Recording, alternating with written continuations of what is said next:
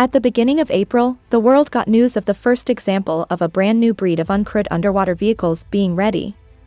The company that broke the news was Northrop Grumman, and it appears that these guys only let us know about the drone after the completion of some crucial testing under the guidance of the DARPA. The vehicle is called Manta Ray, and it is the result of a program DARPA initiated about four years ago. The goal of the research is to come up with multi-use underwater vehicles that could be used for long-duration, long-range missions in ocean environments. Two projects have been selected by DARPA to move forward, one run by Northrop Grumman and the other by PacMar Technologies. It seems like the product of the former had already completed full-scale, in-water testing in February and March, something we only recently learned about. The Northrop Grumman design is built in such a way it kind of looks like something that'll give even the most fearsome creatures of the ocean nightmares.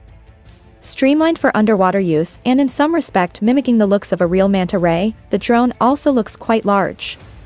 The exact specs of the drone were not disclosed, but as per DARPA's requirements, it's supposed to be powered by new technologies, including the kind that will give the drone the ability to harvest energy from underwater sources.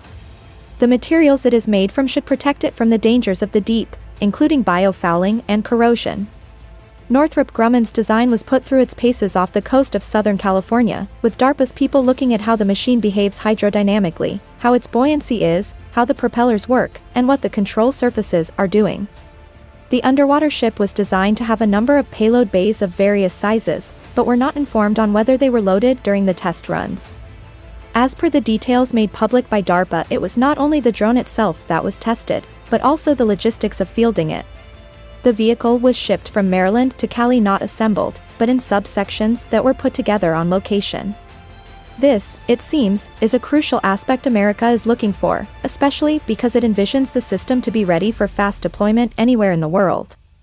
The completion of the tests marks the vehicle's readiness to advance toward real-world operations, but we are not informed as to when we are to expect that. The drone will primarily be used for military purposes, and the US Navy is already involved in preparing the next tests for the system.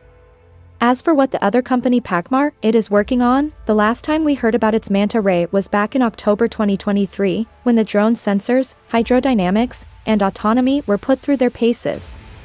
Presently, DARPA says PacMar will be continuing testing its full-scale energy harvesting system in 2024.